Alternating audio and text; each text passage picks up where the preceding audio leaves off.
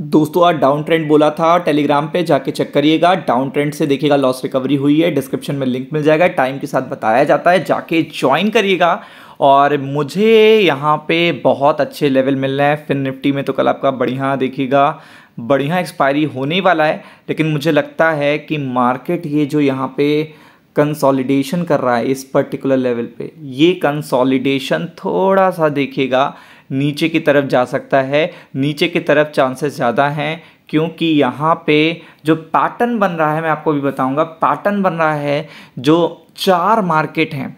जो यूएस की मार्केट है, जो एशियन मार्केट है, जो टॉप मार्केट है, जिस पे देखिएगा इंडिया के स्टॉक मार्केट का इम्पैक्ट भी पड़ता है और इंडिया भी उससे क्या होता है, प्रभावित होता है। तो मैं ऐसे आपको मल्टीपल ऐसे रीज़न दूँगा कि अगर मार्केट आपको देखेगा कल कहीं पे भी, कहीं पे भी देखिएगा उन्नीस छः सौ चालीस पे या फिर समथिंग कहीं पे भी उन्नीस छः सौ बीस के आसपास कहीं पे भी देखने को मिलता है, जैसे आज आपने स्कैल्प किया डाउन ट्रेंड के लिए वैसे ही कल करना है। ये तो बहुत क्लियरिटी रखी। ये मैंने कल भी बताया था, आज जिसने जिसने भी करा, पहले पाँच मिनट का, पहले दस मिनट के, पंद्रह मिनट के कैंडल देखिएगा, आपको कितनी जल्दी स्कैल्प में प्रॉफिट होता है, ये आपको समझ में आ जाएगा। तो मेरे लिए कल का रेजिस्टेंस होगा, उन्नीस छः सौ चालीस, यहाँ कहीं मार्केट मिल जाता है सेल करेंगे, और अगर आप देखेंगे, नीचे अगर बहुत ज़्यादा गैप डाउन खुल जाता है तो आपको ये बहुत अच्छी तरीके से दिमाग में रखना है कि उन्नीस चार सौ अस्सी अभी एक सपोर्ट है। क्या है? उन्नीस चार सौ अस्सी जो है, अभी भी एक सपोर्ट बना हुआ है। तो जब तक मार्केट इसके नीचे नहीं आएगा, तब तक तो कोई बात ही नहीं है। तो यहाँ से सपोर्ट लेके अगर यहाँ पे कहीं मार्केट मिलता है तो कॉल बाय करके इन द मनी का स्कैल्प आपको करना है। तो ये दोनों जोन अभी मार्केट की रहेंगी। अब फिर निफ्टी कल डिसाइड करेगा, फिर निफ्टी ब्रेक और मेक करता है कहीं कुछ तो वो आपको इम्पैक्ट देखने को मिलेगा। लेकिन अभी इसी पर्टिकुलर जोन में देखने को मिलेगा और ये ये लेवल पक्का टूटेंगे। ये किसी भी साइड टूटें, लेकिन इवेंट ऐसे हैं कि टूटेंगे और बहुत देखिएगा या तो ज़्यादा चार पाँच सौ नीचे की तरफ़ आप जाओगे बैंक निफ्टी में, या तो चार पाँच सौ ऊपर की तरफ़ जाओगे। लेकिन अभी के लिए फिर से बोलूँगा, आज भी बोला था, ये रेजिस्टेंस है। आप जाके चेकआउट कर लो, ये रेजिस्टेंस है। और यहाँ जिसने भी मार्केट ओपन होते ही देखेगा, थोड़ा बहुत ही, थोड़ा बहुत ही रिस्क लिया होगा तो भी उन्होंने देखा होगा कि फ़र्स्ट थ्री कैंडल जाके देखिए कैसे बनी है वन वन मिनट की। तो सीधा प्रॉफिट हुआ है, इसमें कोई भी डाउट नहीं है। आपने जो अभी देखा अपकमिंग वीडियो में कि यहाँ पे किस तरीके से प्रॉफिट हुआ है तो मुझे लगता है पैंतालीस हज़ार जब तक ऊपर नहीं बैठता है मार्केट तब तक तो वो सेल जोन में अगर यहाँ पे कहीं खुल जाता है, फिर से सेल करिए। नीचे की तरफ़ जब देखेगा आपको ये 600 के नीचे चला जाने लगे।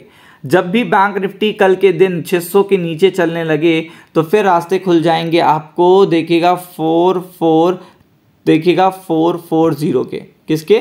Four four four four zero के। तो ये रास्ते आपके खुल सकते हैं ऊपर की तरफ़। जब तक पैंतालीस हज़ार के ऊपर चूँकि मैनुपुलेशन बहुत चल रहा है, ऊपर देखिएगा मार्केट को ऐसा दिखाया जा रहा है कि मार्केट में सब ठीक ठाक है और अचानक से मार्केट को छोड़ दिया जाता है।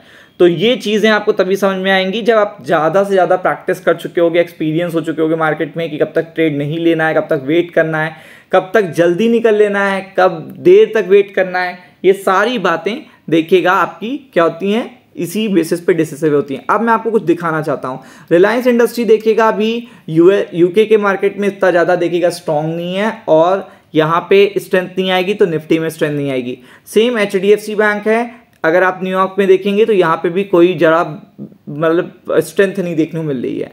फिर आगे मैं पैटर्न दिखाता हूँ। पैटर्न मैं आपको बता रहा हूँ, देखिएगा यूएस का मार्केट काफ़ी अच्छा ऊपर गया था। बट आफ्टर दैट पैटर्न देखिए पूरे हफ़्ते का पैटर्न देखिए। ये देखिएगा रिजेक्शन आ रहा है। पैटर्न देखिए आप पैटर्न पैटर्न ये देखिए। ये जो पैटर्न बन रहा है तो हो सकता है यहाँ से होके फिर से रिजेक्शन आए। तो यूएस का मार्केट भी रिजेक्शन ले सकता है। ये एक पैटर्न बन रहा है, जिस कारण बैंक निफ्टी भी हमारा वहाँ पे सेम पैटर्न पे बिहेव कर रहा है। अब मैं आपको यूएस का ही नहीं दिखाता हूँ। अब मैं आपको दिखाता हूँ यहाँ पे यूएस के साथ साथ निक्काई का। इससे देखिएगा, बहुत इंपैक्ट पड़ता है। ये देखिएगा हफ़्ते भर का पैटर्न देखिए पैटर्न पैटर्न आप देखेंगे तो यहाँ पे भी सेम डाउन ट्रेंड पैटर्न आपको देखने को मिलेगा। इसके बाद अगर आप हैंसेंग देखेंगे तो यहाँ पे भी आपको ये देखिएगा, यहाँ पे शार्प फॉल आया, यहाँ पे मैनुपुलेशन आया, यहाँ पे मैनुपुलेशन आया। तीन जगह मैनुपुलेशन करके मार्केट को शार्प फॉल की तरफ़ भेजा गया है। सेम यूएस मार्केट में भी ये पैटर्न देखने को मिला है। इसलिए अभी सेलर हावी हैं। ये देखिएगा यूएस में अच्छी न्यूज़ आई थी फ्राइडे को बट आफ्टर दैट देखिएगा क्या हुआ? उसके बाद शार्प फॉल आपको देखने को मिला। तो ये क्यों हो रहा है? क्योंकि अभी सेलर्स हावी हैं मार्केट में। और क्यों हावी हैं? इसका बिग रीजन मैं आपको देता हूँ। उसका बिग रीजन ये है, जो हमारी करेंसी में किसी भी तरीके की स्ट्रेंथ देखने को नहीं मिल रही है। ऑल टाइम लो के आसपास जब तक हमारी करेंसी रहेगी तब तक बैंकों में, तब तक निफ्टी में पैनिक देखने को मिलेगा।